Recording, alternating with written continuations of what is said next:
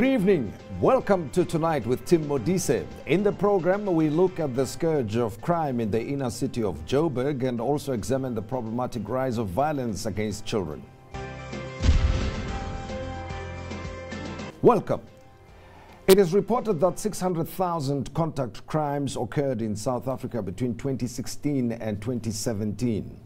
Gauteng has more than its fair share of these crimes, with robberies, assaults, rapes, murder, and carjacking being the most common.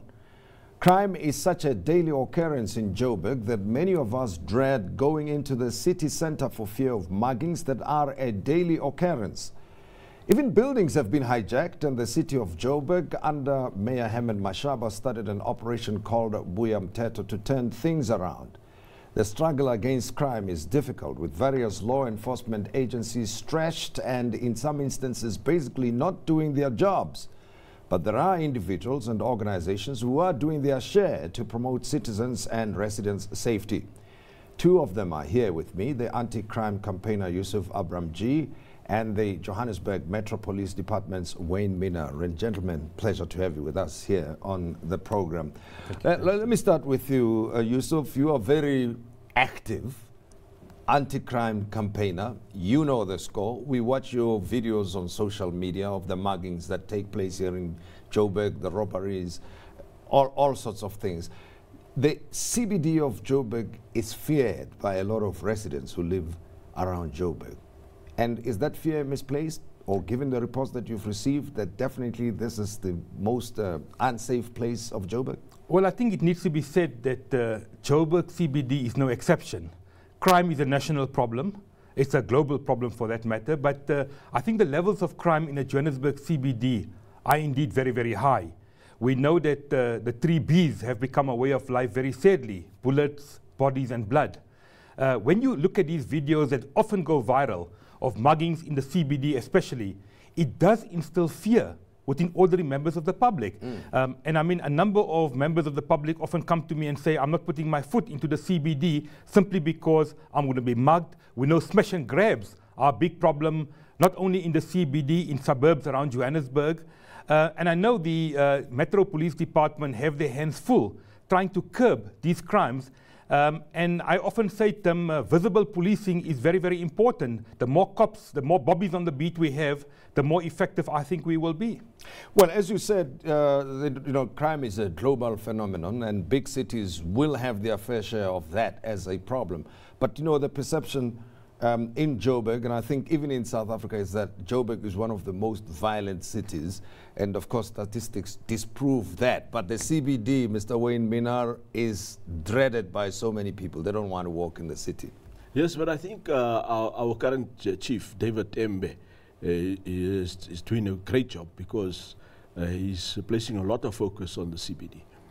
And uh, just last month, uh, another 180 wardens have been employed to beef the, the, the numbers in the CBD. So uh, we're looking at uh, an increased number of officers doing visible policing, uh, zonal patrol that is covering particular blocks uh, and being visible, looking at reducing of, of, crime and dealing with bylaws. And then we do what we call a block patrol, where the officers are on, on foot patrol like Yusuf says, Bobby on the beat. Yeah, Bobby on the beat, but there are notorious places, like he posted recently a video of somebody being mugged in, is it Small Street mm. Mall? Mm. And, and then near the taxi ranks, the, it seems, it looks like this is where most of the stuff happens, and near the, uh, the train station, near Park Station. So you can have the bobbies on the beat, uh, but are they where they're supposed to be? You see, the, uh, those uh, gang uh, that committed that crime, uh, they were arrested before. They're foreign nationals. And um, what makes it very difficult with uh, this gang? They target uh, tourists. And they know the tourists don't stay to be able to give evidence. Okay. Because the tourist must go. That particular tourist was from Argentina.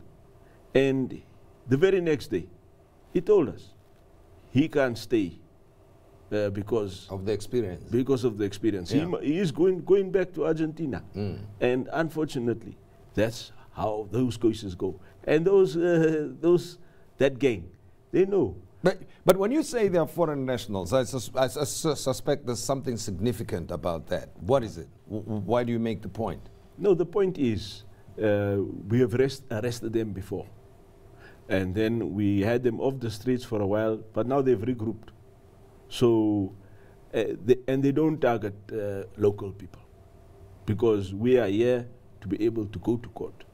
Now, Yusuf, from your experience and the reports you get you know, from your contacts and observations you've made, what do you think is behind the muggings in the inner city in particular? Is it because of lack of uh, visible policing or could there be other factors? Well, I think Tim, it's a combination of problems.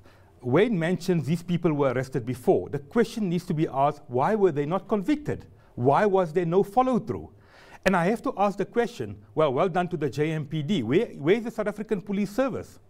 The, the law enforcement agency in South Africa uh, mandated to fight crime is the SAPS. We know the SAPS is hopelessly understaffed. Uh, we talk of the Joburg CBD. The Pretoria CBD has a similar problem, and yet we don't have the visible policing that Johannesburg has. And I think the mayor of Johannesburg, uh, Herman Mashaba, the other day uh, identified one or two of these criminal suspects uh, on his Twitter feed, uh, saying that these people need to be arrested. Take the issue of smash and grabs. I mean, when you drive down the Johannesburg CBD or a suburb of Johannesburg, we know where the hotspots are. These people keep on striking, and yet they get arrested and they get away with it. I've raised the issue of window washer system for many, many years. Mm. Uh, many motorists are scared to even stop at an intersection in Johannesburg, forget the CBD, because they are being harassed, especially female drivers, by these window washers. What is the JMP doing? So as much as the JMP, the JMPD is trying, I think a lot of work still needs to be put in. And the justice system, the Justice Department needs to be held to account. Why do these people get arrested and well, why do they get away with it? Let's give uh, Wayne a chance to respond to that. I mean, what happened to, with, with the gang that was arrested at some point? Were they prosecuted? yes, no, they were prosecuted. Yeah? They, uh, they, they got a jail sentence.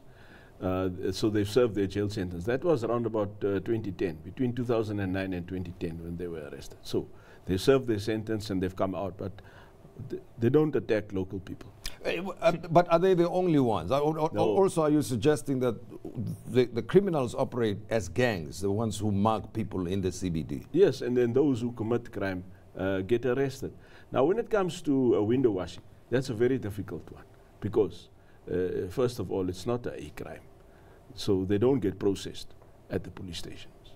So what we do is we try and discourage them from being at, uh, at intersections. Now we've noticed another trend is that those who want to survive uh, do it in a very nice way.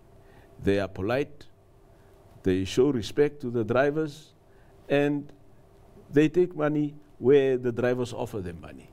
So but, but there's uh, no complaint. I'm, I'm not sure. I, I, mean, are people allowed to loiter around intersections?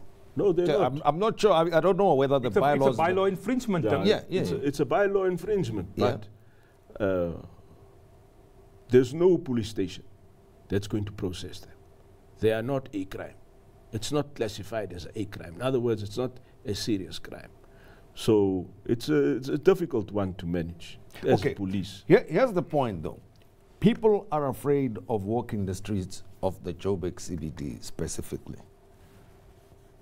And that should be a matter of concern anyway, because a lot of people use public transport. As I mentioned, the taxi ranks and the and the train stations. So, what's going to be done? What should be done? What should they know?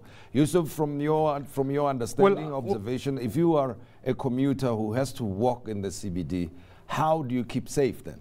Well, I think uh, we know we have a problem. We have to find solutions. I mentioned visible policing. I think the JMPD needs to work closer with the South African Police Service. They must get more proactively involved in fighting crime. Gauteng Community Safety, for example, another major role player, they need to come on board.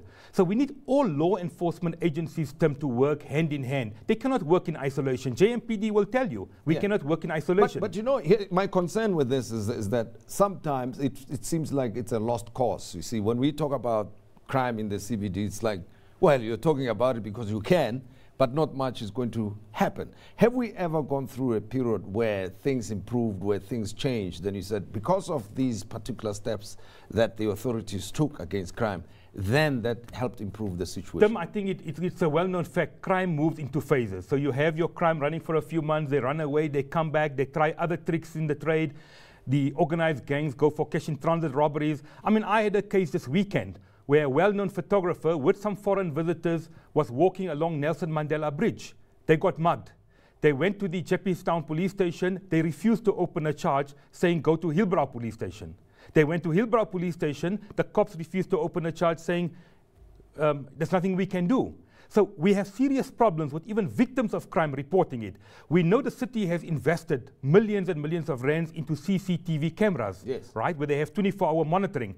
How effective they are, perhaps uh, Wayne can tell us. You, uh, you, you, talking you of can technology. tell us, and of course, uh, if you can speak a little bit on the Operation Buya Mthetho, if you are achieving any of the objectives you set for yourselves. Yeah, look, Operation Buya Mthetho was very successful because uh, we've arrested uh, thousands of suspects for various crimes. So the Buya Mthetho operation is now even adopted by the SAPS uh, provincially. So it's a very successful operation, and I think we're going to continue uh, with that uh, as it is. Uh, uh CCTV is currently being moved uh, from from analog to digital, so the, the, there's some processes that has to be changed, particularly the fiber optic cable, which is in the process of being changed. And uh, out of all of the 400 plus cameras, there are about 300 cameras which are working now and uh, we have got what we call a crime reaction unit that's linked to that. But any, any word of advice, very briefly, both, both of you, starting with you, uh, Mr. Minnaar, that uh, uh, commuters, people who come into the CBD, what should they be aware of? How should we conduct ourselves when we walk the streets of Joburg? I think uh, what's important is uh, don't give opportunity for crime. don't show a cell phone in a public space because uh, criminals will want to have it or steal it. Uh, also, keep your numbers of the police at hand uh, and also the Johannesburg Metro Police and call us immediately if you suspect any criminal activity or see a crime from uh, happening. Call the police, 10 call Johannesburg Metro Police 011 375 5911. And Yusuf? Well, I think, uh, Tim, we have to be alert. People don't walk with your phone try not to walk with your phone uh, around being visible. Uh, your handbags, keep them safe. Um, and I think uh, Wayne makes a very valid point. Report crime. We need mm. people to report crime. And, and, as you know, as the chief ambassador of the Namola Dial Direct mm. Safety app, mm. we appeal to people to download it free of charge. So in case of an emergency, all you do is you open your app, you press one button, and thanks to GPS location, they'll be able to track you and will be able to report the crime. Uh, I don't want to send the cops here because Wayne is here, so I'm going to put test anyway, there, the, the and they will call you back the immediately. Whole, the, the, whole process of downloading it is Namola is in N A M. There we go. Okay. Well, uh, we're live uh, with somebody say uh, we're just testing the app. Thank you for calling. Well, that's how it works, you see. So we just press the. the no, thank you very app. much. We're just testing the Namola app, and uh, if I may ask, where am I now? You are your current location is one. Uh, it's number four, Junction Avenue, Parktown, Johannesburg. Thank you very much for calling me.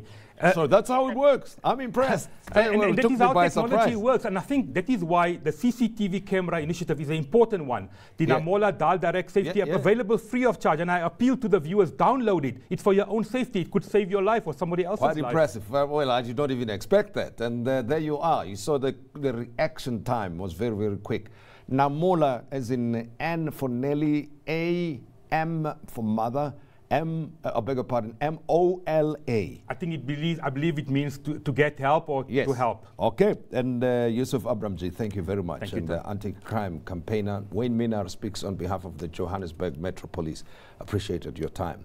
And of course, we just focused on the crime in the CBD. There are many, many issues around crime that we could talk about, but we just felt let's zoom in on the CBD crimes. In a short while, we'll be talking about the safety of children in schools and other public places when we return.